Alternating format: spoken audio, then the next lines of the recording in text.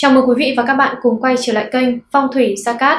Lời đầu tiên thay mặt 30 tập của chương trình, xin kính chúc quý vị luôn gặp vạn sự lành, tấn tài, tấn lộc, tấn bình an. Thưa quý vị, việc chọn ngày tốt, tránh ngày xấu từ lâu đã trở thành một nét đẹp truyền thống của dân tộc ta. Trong bất cứ công việc gì, việc lựa chọn ngày tốt đều ưu tiên hàng đầu. Việc làm nhà cũng không ngoại lệ. Xem ngày động thổ hay xem ngày làm nhà theo quan niệm của dân ta từ xưa là xem theo tuổi của người đàn ông lớn trong gia đình. Xem ngày động thổ làm nhà giúp cho gia chủ chọn được ngày tốt để khởi công xây nhà, từ đó tăng thêm sự tốt đẹp cho ngôi nhà cũng như quý bản mệnh. Trong video ngày hôm nay, chúng tôi sẽ chia sẻ cho quý vị và các bạn về những ngày động thổ tốt nhất trong tháng 11 âm lịch năm 2022. Kiến thức này được trợ duyên bởi thầy Gia Cát cùng các thầy trong Hiệp hội Phong thủy và Tâm linh Việt. Vậy nên quý vị hoàn toàn có thể yên tâm khi sử dụng những ngày tốt mà chúng tôi sẽ chia sẻ ngay sau đây. Trong chương trình ngày hôm nay, chúng tôi sẽ chia sẻ cho quý vị và các bạn những nội dung chính sau.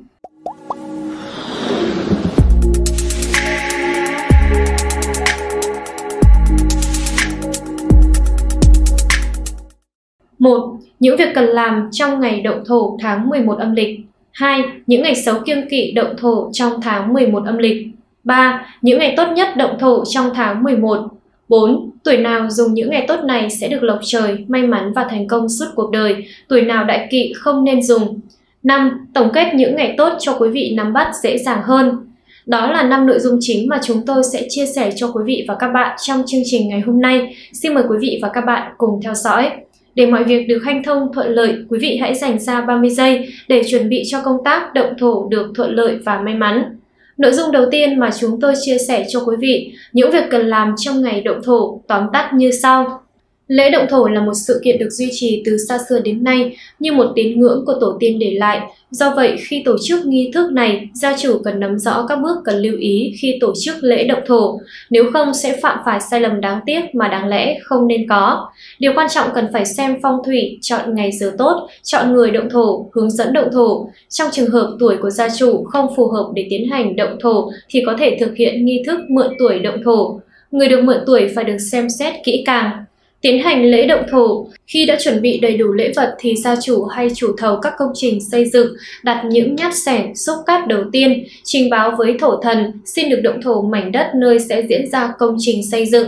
Sau buổi lễ động thổ bắt đầu, máy móc và công nhân tiến hành vào xây dựng. Trước tiên thành khấn, thắp nhang, vái bốn phương, tám hướng rồi quay mặt vào mâm lễ mà khấn. Bắt đầu khấn và khi tiến hành làm lễ động thổ, gia chủ hoặc chủ đầu tư phải có khoảng cách an toàn khỏi nơi động thổ, công trình trình xây dựng, quý vị hãy liên hệ trực tiếp tới số 0989 349119 để được tư vấn chi tiết về lễ động thổ nhé.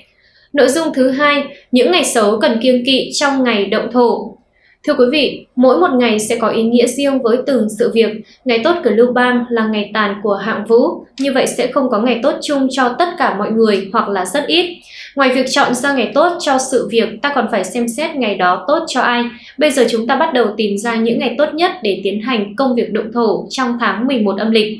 Quý vị hãy tham khảo thêm trong cuốn sách Ngày tốt toàn thư để chọn cho mình được những ngày cát lành nhất, tự xem ngày tốt một cách chủ động mà không phải phụ thuộc vào bất kỳ thầy nào.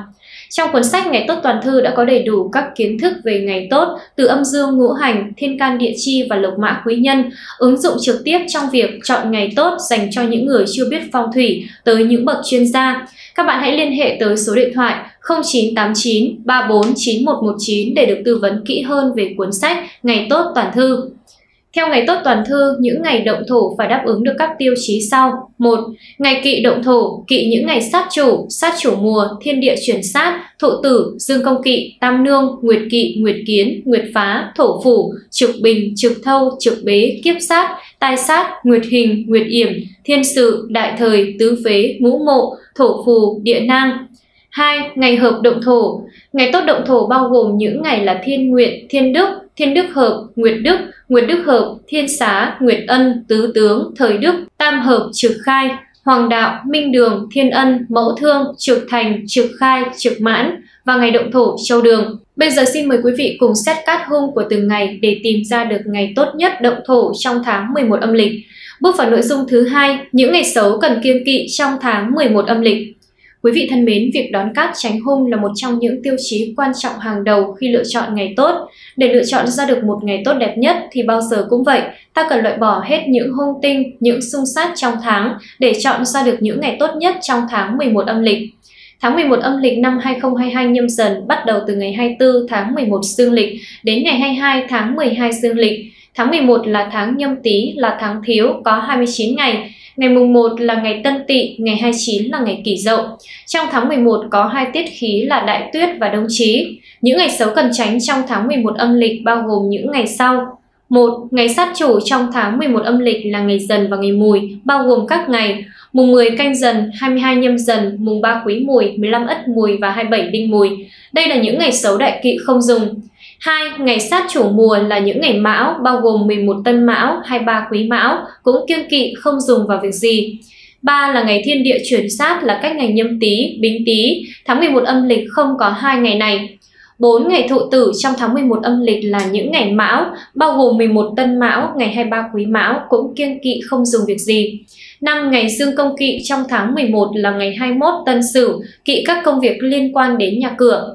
6 ngày tam nương bao gồm 6 ngày, mùng 3 quý mùi, mùng 7 đinh hợi, 13 quý tỵ, 18 mậu tuất, 22 nhâm dần và ngày 27 đinh mùi. Đây là 6 ngày xấu kỵ mọi việc. 7 ngày nguyệt kỵ bao gồm các ngày là mùng 5 ất dậu, 14 giáp ngọ, 23 quý mão. Đây là 3 ngày cực xấu và kiêng kỵ mọi việc. 8 ngày nguyệt kiến là ngày tý, bao gồm mùng 8 mậu tý và 20 canh tý. 9 ngày nguyệt phá là các ngày ngọ, bao gồm mùng 2 nhâm ngọ, 14 giáp ngọ và ngày 26 bính ngọ. 10 là ngày thổ phủ là ngày tý, bao gồm mùng 8 mậu tý và 20 canh tý.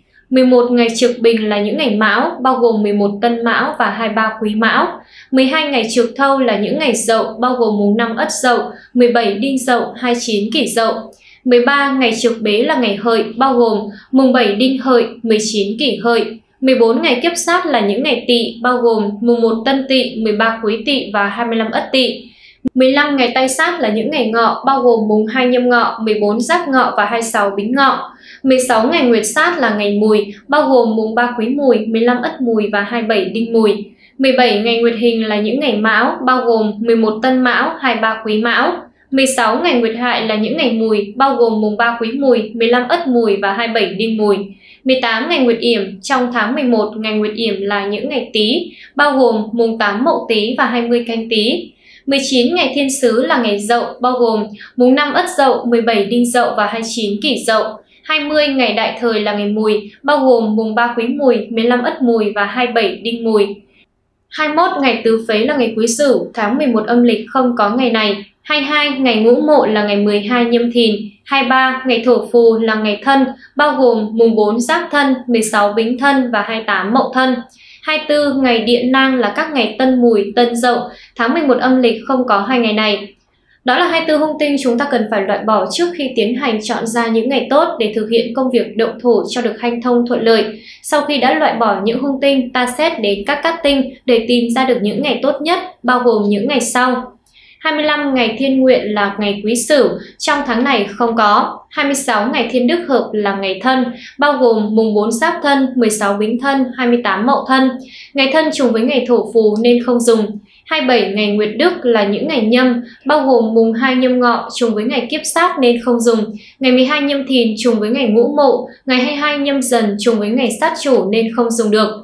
28 ngày Nguyệt Đức hợp là những ngày đinh, bao gồm mùng 7 đinh hợi trùng với ngày trực bế, 17 đinh dậu trùng với ngày trực thâu và ngày thiên sứ nên không dùng, 27 đinh mùi trùng với ngày tam nương nên không thực hiện công việc gì. 29 ngày thiên xá là ngày giáp tý, tháng 11 không có ngày này. 30 ngày nguyệt ân là những ngày giáp, bao gồm mùng 4 giáp thân, trùng với ngày thiên đức hợp đã xét ở trên. Ngày 14 giáp ngọ trùng với ngày nguyệt phá và ngày tai sát nên bỏ qua. Ngày 24 giáp thìn là ngày nhiều cát tinh, rất tốt cho ngày động thổ. 31 ngày tứ tướng là những ngày giáp và ất. Ngày giáp trùng với ngày Nguyệt Ân đã xét ở trên. Ngày ất gồm các ngày là mùng 5 ất dậu trùng với ngày trực thâu và ngày thiên sứ nên không dùng. Ngày 15 ất mùi trùng với ngày Nguyệt sát và ngày đại thời xấu nên không dùng. Ngày 25 ất tỵ trùng với ngày kiếp sát. Như vậy ta không chọn được ngày nào đẹp theo tiêu chí này. 32 ngày thời đức là những ngày dần trùng với ngày sát chủ nên ta không dùng. 33 ngày tam hợp là ngày thân và ngày thìn. Ngày thân trùng với ngày thiên đức hợp đã xét ở trên. Ngày thìn bao gồm các ngày 12 nhâm thìn trùng với ngũ mộ nên bỏ qua. Ngày 24 sát thìn là ngày tốt để động thổ. 34 ngày trừ khai là ngày tuất, mùng 6 bính tuất, 18 mậu tuất là cho những ngày tốt cho việc động thổ. 35 xét các ngày còn lại Ngày Sửu bao gồm các ngày mùng 9 Kỷ Sửu, 21 Tân Sửu. Tuy hai ngày này không phải ngày quá vượng nhưng cũng không có các hung tinh ảnh hưởng xấu đến việc động thổ nên vẫn có thể xem xét dùng được. Như vậy chúng ta đã dựa vào 34 tiêu chí của sách Ngày tốt tuần thư để chọn ra những ngày tốt động thổ trong tháng 11 âm lịch. Những ngày tốt trong tháng 11 âm lịch cho việc động thổ đó là những ngày tốt sau. Ngày 24 Giáp Thìn kỵ những người tuổi Tuất, hợp những người tuổi Thân, Tý Dậu và những người có thiên can là Kỷ. Ngày mùng 6 Bính Tuất kỵ những người tuổi Thìn, hợp những người tuổi Dần, Ngọ Mão và những người có thiên can là Tân. Ngày 18 Mậu Tuất kỵ những người tuổi Thìn, hợp những người tuổi Dần, Ngọ Mão và những người có thiên can là Quý. Ngày 21 Tân Sửu kỵ những người tuổi Mùi, tốt cho người tuổi Tỵ, Dậu, Tý và những người có thiên can là Bính. Ngày mùng 9 Kỷ Sửu kỵ những người tuổi Mùi, tốt cho người tuổi Tỵ, Dậu, Tý và những người có thiên can là Giáp. Đó là những ngày cát lành động thổ trong tháng 11 âm lịch và chi tiết những tuổi hợp kỵ với ngày. Quý vị hãy nhanh tay lựa chọn cho mình những ngày phù hợp nhất để tiến hành mọi việc được thuận lợi và may mắn. Hy vọng qua video này, quý vị sẽ lựa chọn cho mình được những ngày tốt đẹp như ý. Mọi ý kiến đóng góp của quý vị hãy để lại dưới ô bình luận bên dưới video hoặc gọi điện trực tiếp tới số 0989 349119 để được giải đáp. Cảm ơn quý vị và các bạn đã quan tâm theo dõi. Quý vị hãy hoan hỉ đăng ký kênh và nhấn vào chuông thông báo để luôn cập nhật những thông tin mới nhất. Còn bây giờ, xin chào và hẹn gặp lại các bạn ở video tiếp theo. Xin cảm ơn.